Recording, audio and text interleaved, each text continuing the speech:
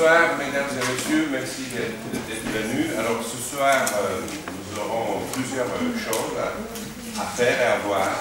Euh, J'aimerais bien vous présenter Mme Sakova, qui est éditrice euh, l'un des co-auteurs d'un livre sur l'histoire de la photographie de, de l'Europe européenne.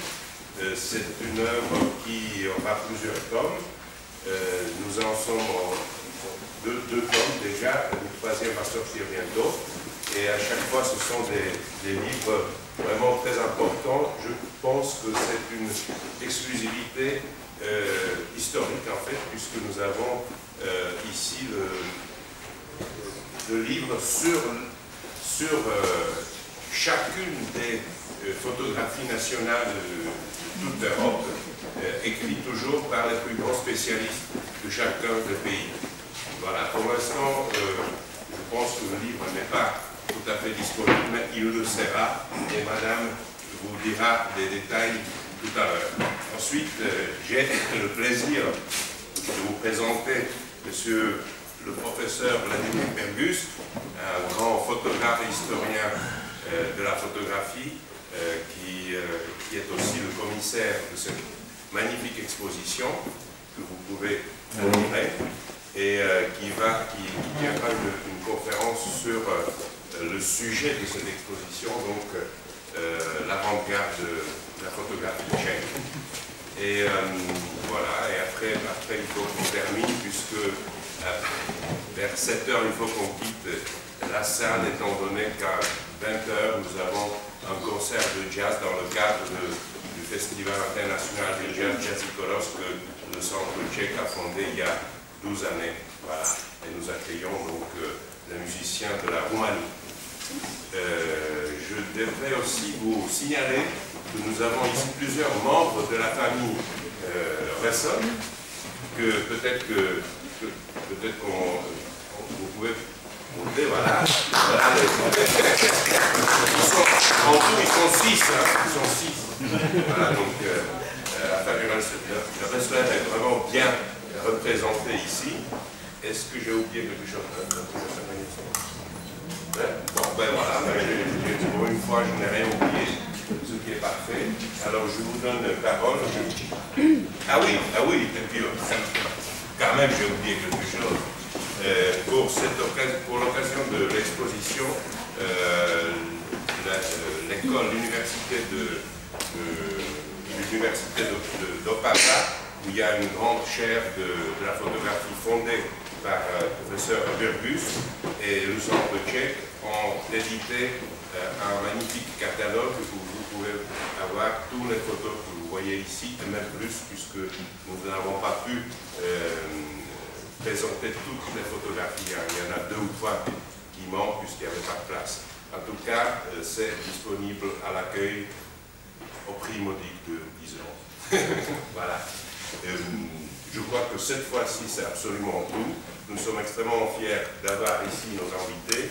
Euh, je dois signaler aussi que la présence de Madame est, en fait assurée par euh, la collaboration avec l'Institut Slovaque. Le directeur, M. Jurkovic, se cache au fond de la salle et il est là, bien présent. Voilà, et c'est déjà vraiment, c'est tout ce que je voulais dire. Ce que j'ai oublié, c'est pas grave, puisque si j'ai oublié, c'est pas très grave. Allez, bonne soirée et à vous, à vous de jouer.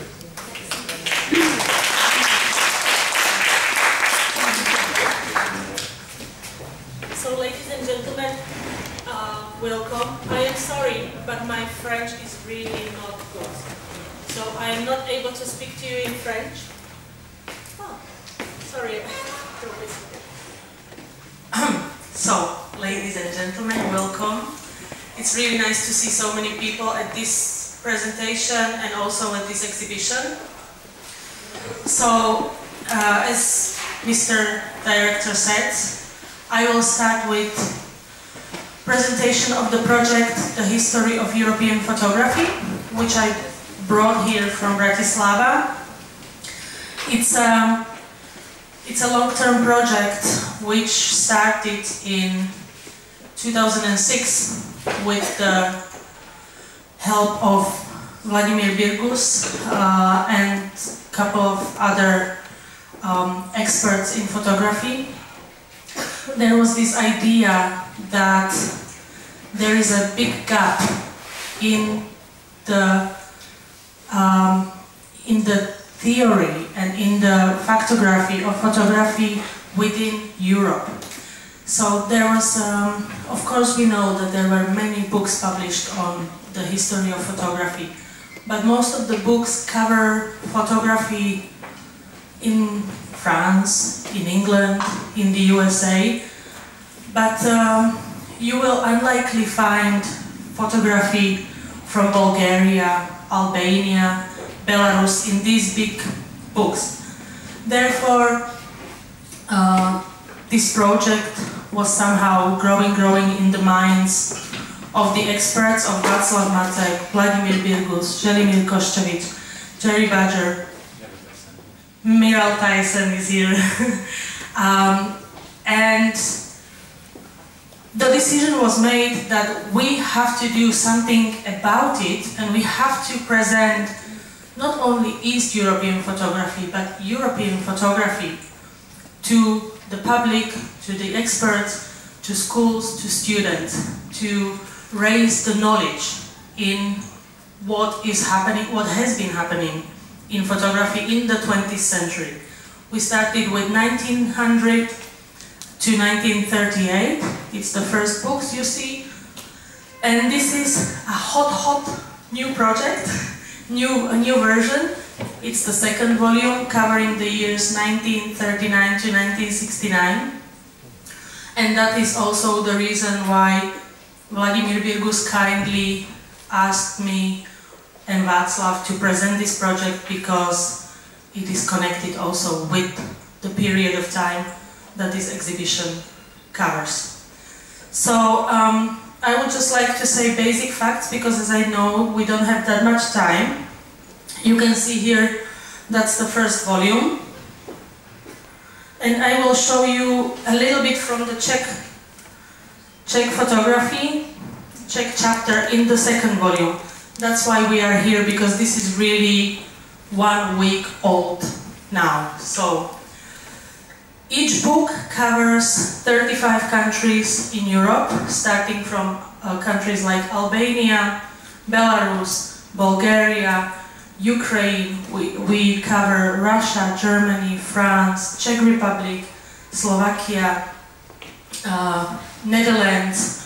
We have the author, as Vladimir mentioned, Mirelle Thijsen here with us. Thank you for coming. And um, also Luxembourg, for example, and many other countries. Um, we just really find it important to find the right people to write good, readable, understandable texts on the history of photography. Not only facts, not only factographical uh, text which will say this was the date when this happened and this was the date when this happened, but these are really stories that each expert from each country tells. The story is about photography, it's about social political background of the country, about the history of the country, and all the important events that has been happening in the period of time that each book covers. Now I will show you the preview of the Czech chapter written by Vladimir Birgus and Jan Mlčoch. And also I will show you, of course, uh, a little bit of the Slovak. Um, Slovak chapter, which was written by Václav Macek, the director of the uh, Central European House of Photography in Bratislava, and the Festival Month of Photography in Bratislava, which is now running so um, you will see here what has, has been chosen. Each chapter that is here, the authors had a basically free hand to write the story uh, that they wanted. The authors were the ones choosing the right illustrations for the book. So each illustration that you will see here, the photographs were chosen by the authors. Um, each photograph illustrates the text uh, and tells about not only the photographer but also everything that has been happening around him. Um, the project is also important because not because it shows the small countries in Europe that have great history and great background in photography, but also because uh, because there are many many things that have not been cleared within the history of photography. For example, when you look at the first cover of the book, this one, you will see an image that you might have seen many times. Very famous uh, images, these mirror images were done by Witkacy from Poland. Also, Marcel Duchamp did such images. And many people, even historians, might think that perhaps it was Duchamp who invented this kind of photography. But it's not true. This is an Estonian author, uh, Pääsuke, and he was before, he was the, before Duchamp and he was before Witkacy. And he was absolutely unknown to us, to the West European photography. So that's why we decided to put him on the cover to demonstrate that there are many things still in the history of photography that have to be cleared out. And it's not the only, only example, you will find many in the book.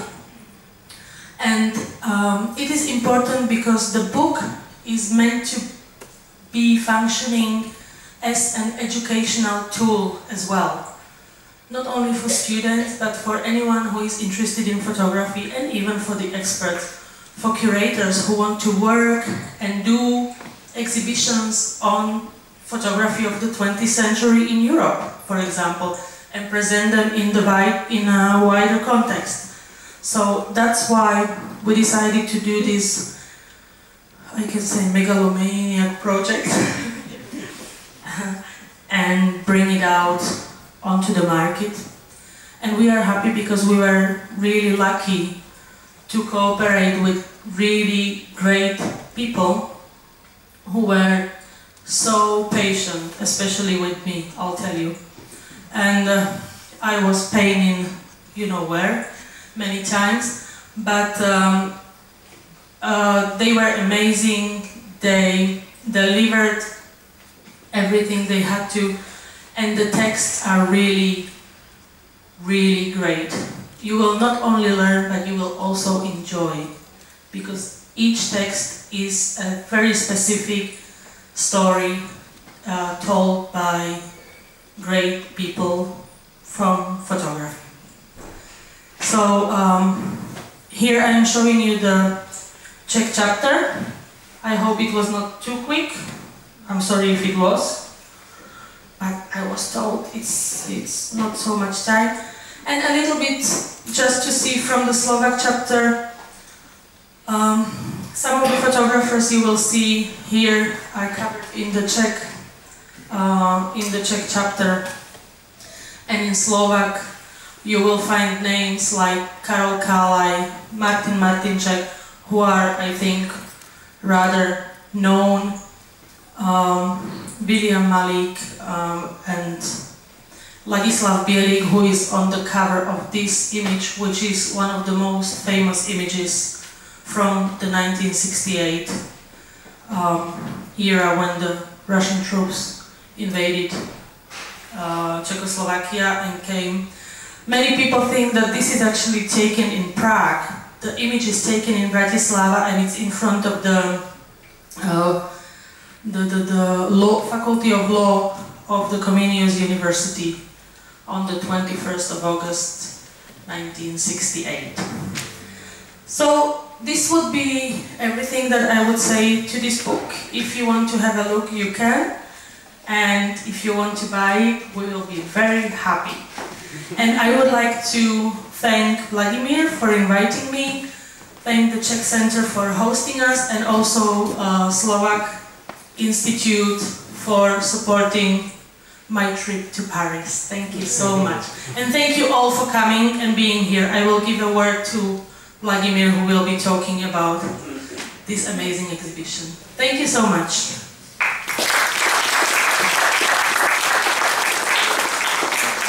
Will start with uh, thanks uh, because this project uh, usually should be done in some university with a team of 20, 30 people, but actually it was done in Central European House of Photography with a team of two people. So it's really unbelievable work to control 35 different writers in many languages and to push them. The deadline were already half a year ago and so and they succeeded to publish uh, two volumes uh, in four books and two more volumes uh, will be published in two years uh, accompanied by exhibition of European photography in the Slovak National Gallery. And uh, the last uh, thanks to mm, not only director of Czech Center, Mr. Michal Pospíšil and his deputy uh, director um, uh, Jean uh, Gaspar Páleníček who really helped with exhibition and also with catalog in last minutes because we didn't we didn't even think the catalog will be ready for this opening and we made it last weekend and uh, thank also to publisher house Kant and who is represented here by uh, Anna Hoffmanova. Thank you so much. And and I will try to uh, explain a little bit about this exhibition and uh, about uh, four important Czech photographers. Uh, it's a little bit strange that it's not in Czech Center in Paris in Czech or French languages, but I was asked to uh, use my poor English, but uh, maybe you will understand. so, um, exhibition is quite small exhibition. We have nine, 49 photograph, 45 photographs and by four uh, photographers. Uh, some of them are quite famous, uh, some are still waiting to be discovered abroad, like um, Eugen Wiškovský. So, uh, generally speaking, Czech avant-garde photography was completely unknown in 1950s, 1960s, and only in 1970s the first exhibitions of Drtikol and Funke abroad uh, started to show that Czech avant-garde was not only good in cinema or in literature or in uh, painting, but also in photography. And uh, some photographers uh, were uh, unknown even maybe 20 years ago. The first monograph of Jaroslav Rössler, who is now considered as one of the chief, uh, uh, most important uh, avant-garde photographers, who was pioneer of abstraction and constructivism in photography. The first monograph was published only in 2001, and the first big exhibition traveled abroad also the same year. So Czech, Czech avant-garde uh, photography started later than the Czech avant-garde painting.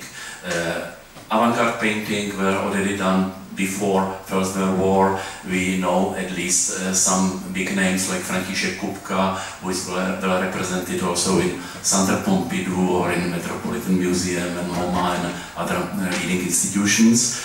And step by step is uh, also uh, work discovering that not only Kupka but also Šíma, Foltýn and other important artists uh, were not only copies of uh, some French, German or Russian avant-garde painters but made very important works.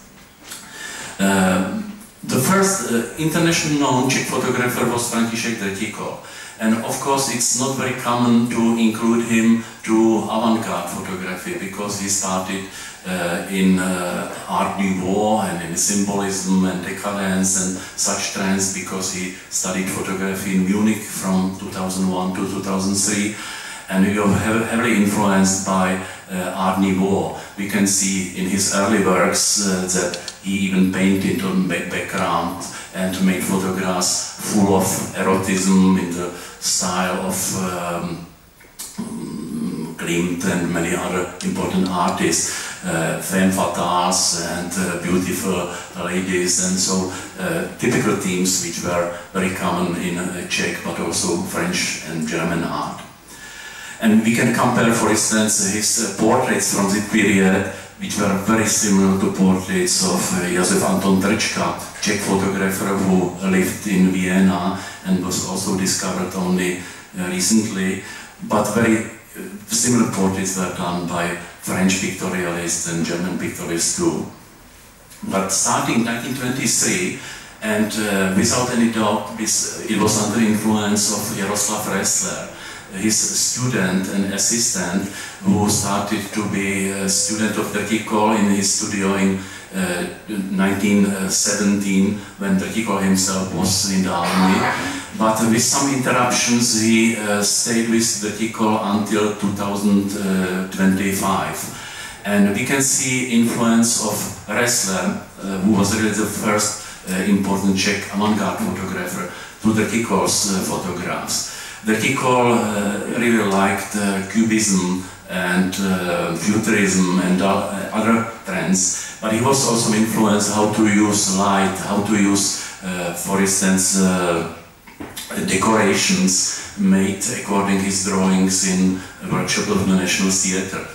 And starting 1923 until 1924 uh, was the most important period of his works. And without any doubt we can see that they are uh, avant-garde, how they used, for instance, uh, shadows and lights, how they used decorations uh, together with naked bodies, and so on. So uh, I think that the Drtikol that in this period was one of the most progressive uh, photographers of nudes. He also took part, for instance, in exhibitions uh, like modern photography in London, together with Cartier-Bresson and André Kertész and some other photographers.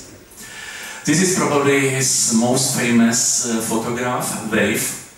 In this exhibition we have another variation of this photograph from 1925, which is probably also the most expensive Czech uh, photography.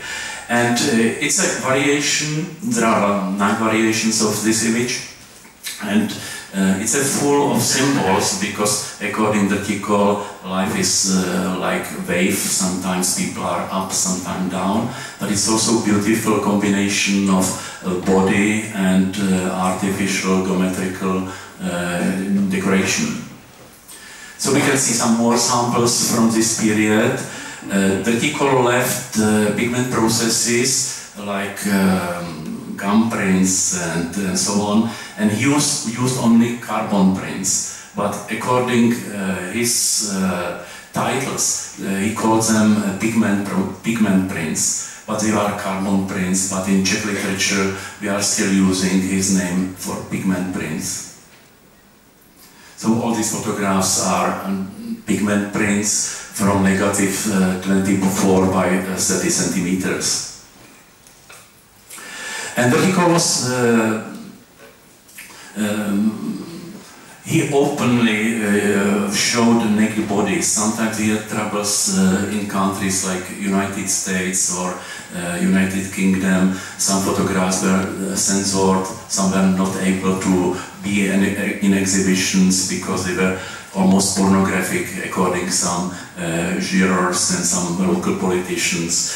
But at the same time, Drtikol also uh, was very successful in market. He sold photographs to uh, many collectors, uh, not only in Czechoslovakia but also abroad, for contemporary very funny prices like $10 uh, for one piece.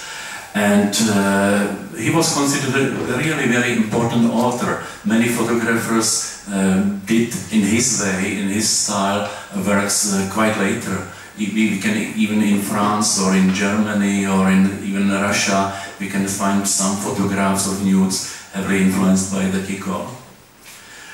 And we can compare, for instance, uh, Drtikol's uh, quite famous photographs from 1925 to 29, uh, with most famous photograph by Rudolf Koppitz. Uh, Koppitz was born in uh, Silesia, in uh, former uh, Czechoslovakia, and spent 20 years in Czechoslovakia before he left to Vienna and started be professor at State Graphic School in Vienna. So he's part of Austrian photography, but also in small part uh, of Czech photography. And uh, we can see how similar are, for instance, these movements uh, in Drtikol's works and in Koppitz's uh, movement. It's the title of this famous photograph. And this is a sample how Drtikol influenced foreign photographers. I found, for instance, in Greece, uh, one photographer, Nikodora Nikoleris, Doberos Nikoleris, nobody knows anything about him. But he published in uh, local catalogs from Athens and Thessaloniki uh, nudes which were probably influenced by uh, Drtikol, including his uh, geometrical uh, objects. In 1930, uh, his uh, photographs uh, completely changed. it also his life changed because he was more and more involved in Buddhism, in yoga, and in Rudolf Steiner's philosophy and left uh, photographs with living models and made and more photographs with cutouts and photographs with uh, abstractions. So we can see also that in some ways he should be part of uh, abstract photography. But for the Drtikol these works are full of symbols. This is for instance body, uh, soul living body. It was a title for his uh, circle of his uh, students but uh, in competitions, in ex exhibitions, they usually he usually called his photographs simple as compositions or untitled. As I mentioned, Jaroslav Rössler uh, started with Drtikol's uh, assistant uh, when he was uh, 15 years old only and stayed in his studio until 25. And without a doubt, he was really the most progressive and most the first Czech avant-garde photographer. but we can also see influence of his master, of Drtikol. Uh, Rössler, for instance, used technique uh, from oil prints even in 1940s. And nobody from uh, avant-garde circle could use uh, pigment processes, but Rössler did it. And this is a portrait of his uh, for, uh, former wife, Gertruda Fischerova, who also was assistant in the Kiko studio. She was eight years older and also a good photographer. It's another couple of portraits of Gertruda, one in negative, one in positive print. And uh, we can't, uh, we, we, have to mention that also, like the Kiko, he was good painter and he made excellent drawings. Uh, in style of cubism and uh, futurism, so we can see some of them. Just recently was one exhibition Eh, fully devoted to eh, uh, Rössler's paintings, not uh, to photographs. And we can see, for instance, there's no difference between almost unknown drawing from 1923 and very famous work called Dancer Ore Tarako, in old literature we can uh, read that it's a photograph, but it's not photograph, it's a painting reproduced in photography. So in some books uh, by Antonín Dufek and some other authors, you can uh, read that it's a very famous photograph. Unfortunately, it's not, it's, it's a reproduction of painting. And this is the first avant-garde photograph. It's uh, called Opus One. It's from 1919, and uh, Rössler was um, uh, living in a studio of Drtikol, and he made this composition, constructivist composition with uh, some bottle uh, as early as 1919. It means five years before Rodchenko started to make constructivist photographs. But of course, almost the same time when Coburn or Paul Strand did such uh, first constructivist works. This is another famous picture done in the Kikos uh, studio, uh, Skylight. Uh, it's from the room where the where Rössler lived.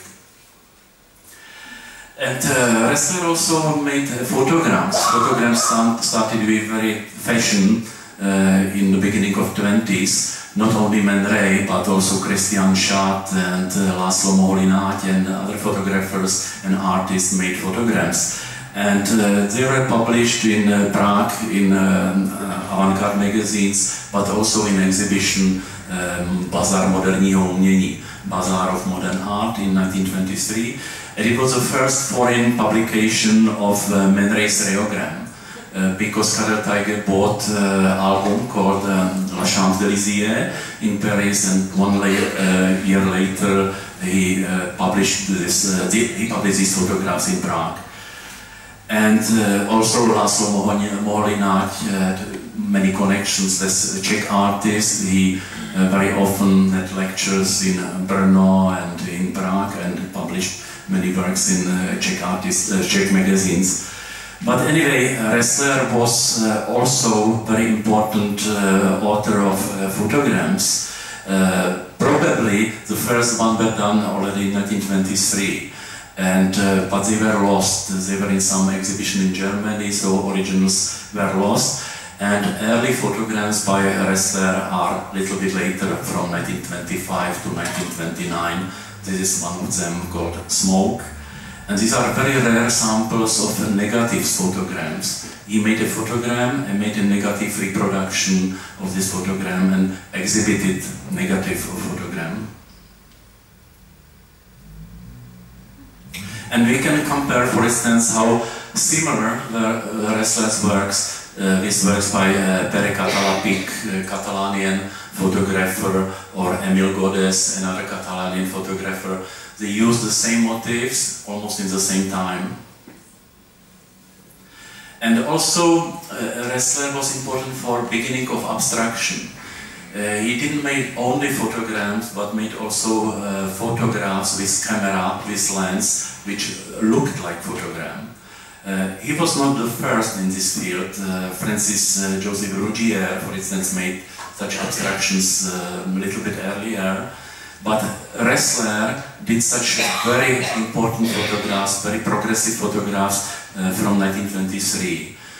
He usually put camera on tripod and uh, made uh, um, this re reflector, this light, moved uh, in, during longer exposure. So sometimes these photographs look like photograms, but they are not. They are very progressive, even uh, in international context. Another kind of abstractions that are made by Rössler from paper. He cut out uh, different papers, sometimes black and white, sometimes uh, green papers and so, and made some small constructions with uh, these papers. And also, it's very early, it's around 1923 to 1925. You can see some in this exhibition as well. And uh, he went even farther when he uh, put together two negatives and made uh, composition with two negatives of the paper. And sometimes he made even drawings, uh, two negatives, uh, one positive, but also drawings around. And uh, it's like a new typography, it's like a typography by Teige or um, Franz Roh and so on. And also he was the only uh, photographer, professional photographer who was invited to uh, avant-garde group Devět A group uh, was found in 1920 by young artists. The leader was Karel Teige. And uh, Devět uh, established own style of collages. Not Dadaist, not Surrealist collages, but uh, they know, of course, the German collages, the Dadaist collages by Os, Os, Hausmann, by Hannah Höch and so on. But they established so-called poet picture poems, it's a term by uh, Teige. Uh, it's a um, confrontation of text and uh, pictures. Pictures from postcards, from uh, real photographs, uh, from drawings and so on. And very often uh, motifs were um, exotic countries, modern life, uh, sports and so on. We can see now two collages by Teige himself, and uh, probably the most famous work by this Devět group is a book called Alphabet. It's a common work of uh, poet Vítězslav Nezval and uh, typography by uh, Karel Teige. Uh, Milča Mayerová was a dancer and uh, Karel Paspa was a photographer. And this book is really very important uh, common work of uh, four different medias. Rössler himself did excellent collages. Uh, some of them were published in uh, magazines like Red, Stavba, and uh, in, himself was invited to be a member of the Devětsil. But he was very different from other members. He was really introvert, so he didn't come to uh, cafes and restaurants like almost all other members each each night. Uh, he was uh, should be called like external member, uh, member of Devětsil. Anyway, his collages are very similar to collages of Teige, again motifs of uh, transport and American architecture and exotic countries and, and so on. And also industrial objects. He was very interested in radios. He constructed radios himself. So very often in his photographs and collages are motifs of radios. And uh, this is a cover of Red, the most important Czech avant-garde magazine with uh, Rössler's collage on cover. Also, he liked uh, modern technique, modern uh, buildings like Eiffel Tower and Petrin Tower in Prague. And again, it was something common between avant-garde artists. We can see, for instance, a view of a Germaine Krull from uh, bridge in Rotterdam, and Jaroslav Rössler, very similar photograph of Petrin Tower in Prague from 1925, and uh, detail of the same tower, which is almost like uh, abstract composition. In 1925, uh, Rössler and his future wife um, went to Paris and started. He started to work in Studio Lorelle and uh, some other advertising studios and uh, made a lot of photographs from Eiffel Tower. So we can see some samples of uh, collages with motif of Eiffel Tower. And also he made uh, new objectivity photographs of industrial objects, uh, beauty in uh, some industrial objects. And uh, now we can see how common happens that his advertising photography started to be a free work. And uh, we can see, for instance, this beginning is uh, advertising for uh, some pasta, for these, and another advertising for perfume. And this is already free photographs. It's um, drawing on uh, white paper.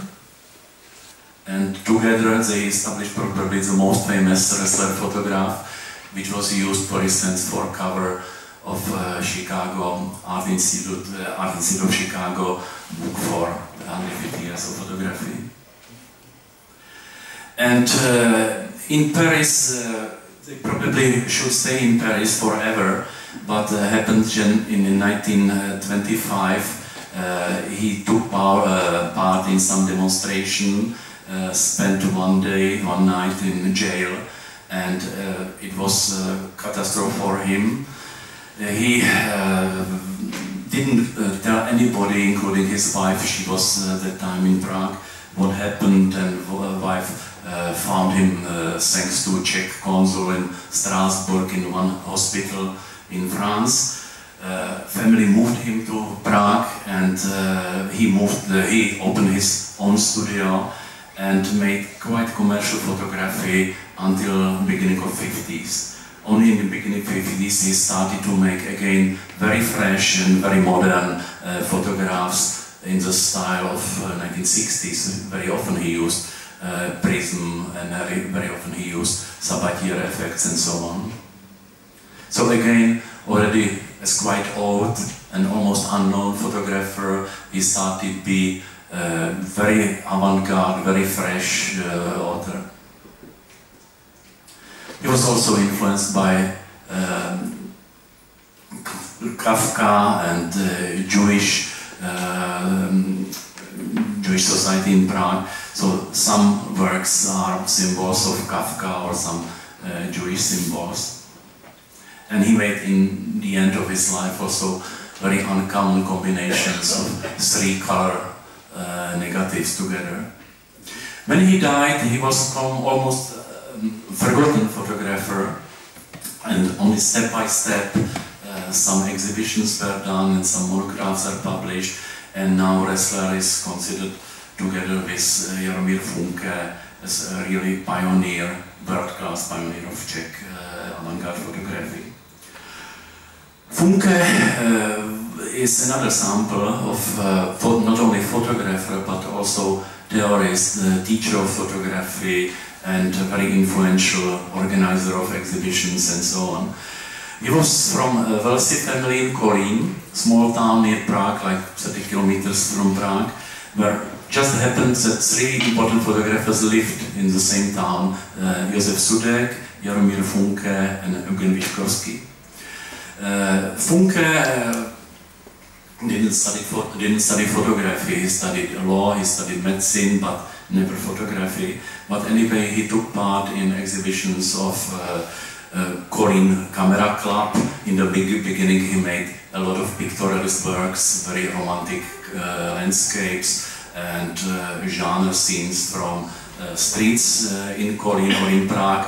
But very early, few samples, but very early in 1923, probably under the influence of uh, Paul Strand and maybe some other photographers too, uh, he started to make photograms, but he never published them. He, he even published a, a text uh, about Man Ray's uh, rayograms that uh, these are not photographs. They, were, they shouldn't be considered photographs because camera was not used. But he made himself photograms, but uh, as a top, top secret, he never exhibited them. They were somewhere in his house only.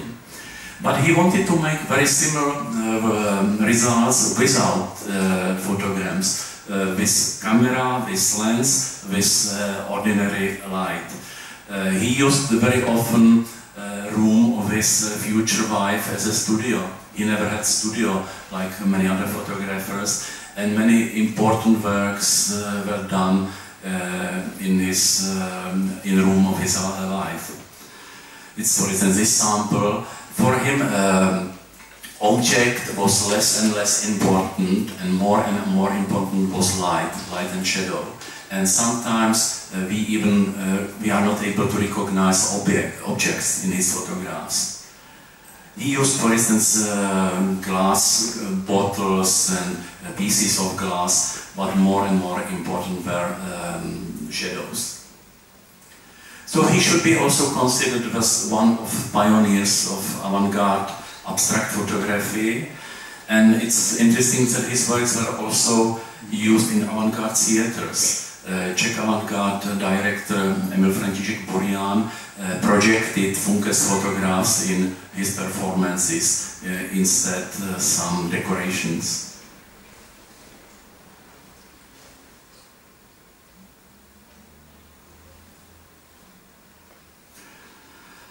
We can see that uh, some similarities in contemporary Czech paintings from that period, like Josef Šíma, who actually lived more in Paris than in uh, Czech Republic, Czechoslovakia, or František Foltýn, the same uh, Czech painter, but at that time in 1920s, 1930s, he lived in Paris.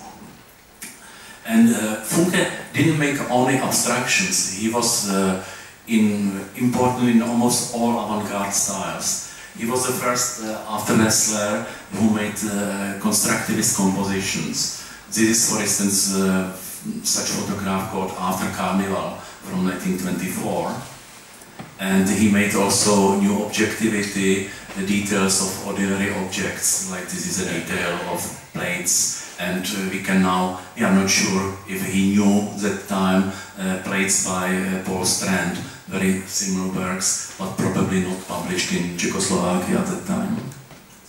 And another simple uh, composition with frames. And also some industrial objects uh, were in the center of uh, Funke's photographs in 1920s. And also he made a lot of uh, architecture photographs, uh, like Rodchenko, Moholy-Nagy, uh, Funke made photographs of functionalist architecture. He published a book about uh, Masaryk students' houses in uh, Brno, a book about the new architecture in Bratislava. When he started to be teacher in Bratislava, he collaborated with uh, local avant-garde magazines. And uh, this is a power station ESSO in Kolín, which is a common object not only for Funke, but also for Sudek, Wiškovský and other photographers. It was a new building uh, constructed in uh, the beginning of the 1930s. And uh, Funke was also the first Czech photographer who was uh, surrealist, who made surrealist photographs as early as 1929, probably influenced by Atget, but Atget windows, shop windows. Uh, Rössler made such uh, series called Reflections in 1929, uh, confrontation of reality and uh, reflection of reality. And it's probably the famous uh, surrealist photograph by Funke from the series uh, The Time Persists. And I already mentioned that Funke was teacher at first in Bratislava, but from 1935 in Prague, and together with Josef M, um, they completely changed uh, the style of study in this same graphic school. Many students had to make photographs of uh, decorations of some geometrical objects in studio, and uh, Funke was very influential uh, teacher, theoretician, and writer. And we can see also influence of uh, Man Ray's, probably Electricity, very famous series by Man Ray. And this is uh, Funke's uh, exposure of neons in uh, Prague. And it was done like uh, a New Year's greeting card for his director of State Graphic School, Ladislav Sutnar.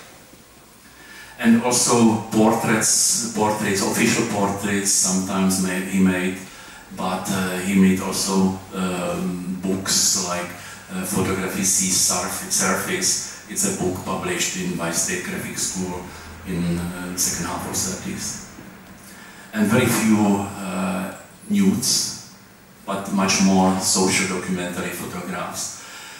Uh, when the school was uh, closed, when Nazis came to Czechoslovakia to 1939, State Graphic School and all universities were closed, and uh, Funke lost his job, so he uh, started be editor of uh, magazine from Photographic Horizon, and he published several important articles in this magazine together with his uh, friend uh. And he died quite soon. He was uh, only 94, uh, nine, uh, 49 when he died in uh, the end of the war. Uh, they were the same ages, Sudek and uh, Funke, both were born in 1876, but Funke lived 30 years longer. Sorry, this Sudek lived 30 years longer. Uh, from these four photographers we have now in our exhibition, probably um, completely unknown abroad, is uh, Eugen Wiškovský.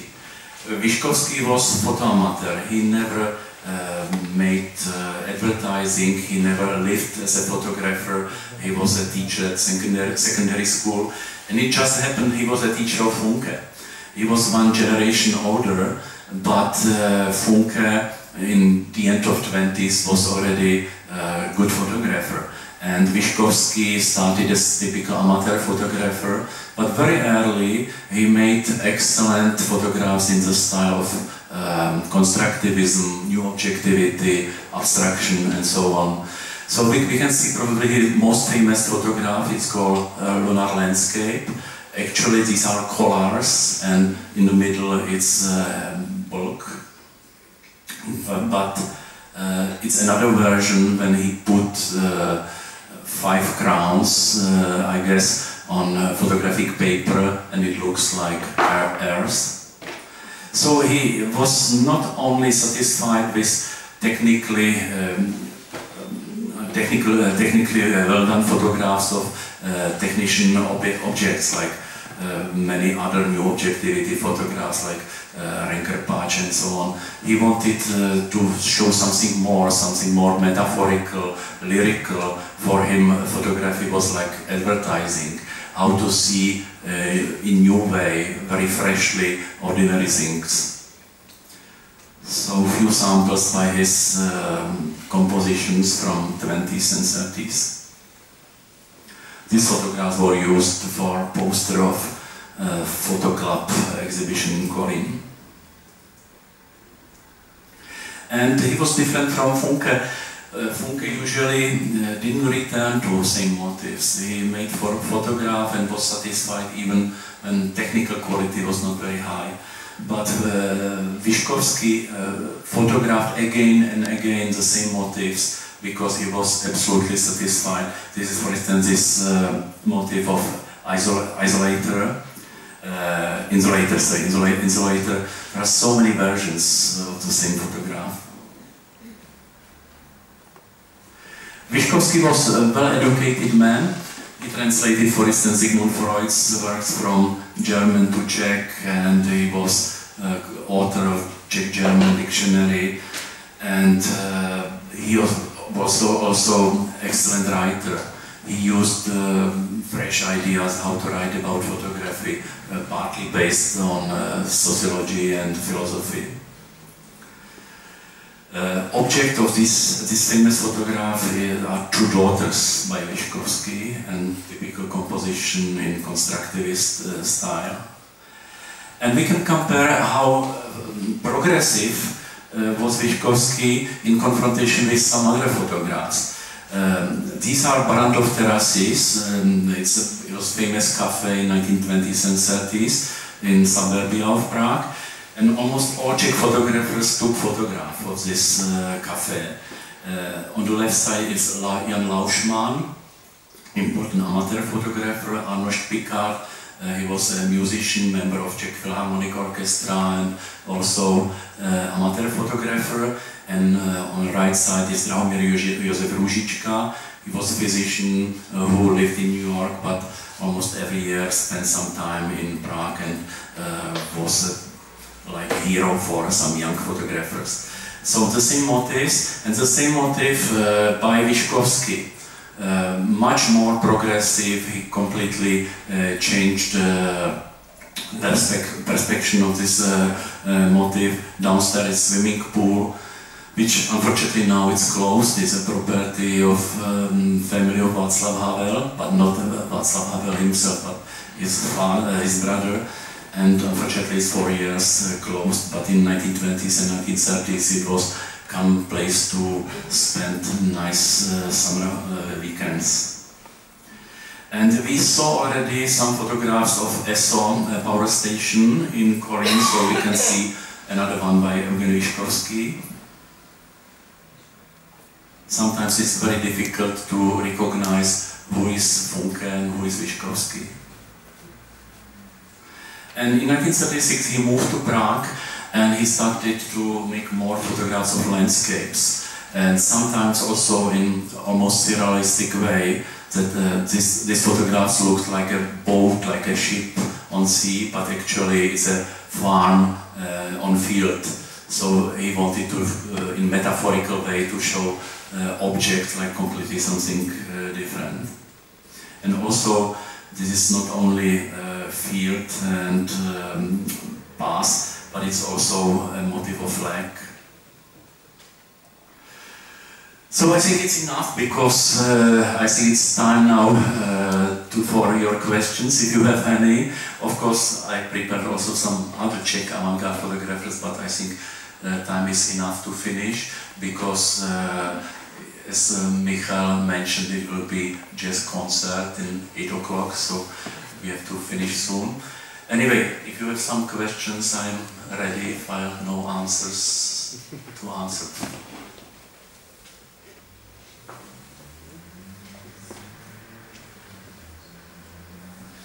If not, again, uh, it's more in this catalog. In, it's in four languages, this catalog, and uh, downstairs are, there are available also some books in English on Czech avant-garde photography and um, monographs of Wiškovský and uh, some other photographers.